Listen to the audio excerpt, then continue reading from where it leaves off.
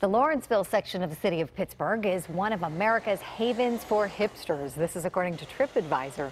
The website named Lawrenceville one of the 14 coolest hipster neighborhoods in the country. The site also gave a shout out to Church Brew Works as well as the Arsenal Lanes Bowling Alley on Butler Street. And we have a link to the full list if you'd like to check it out on our website. Just go to kdka.com.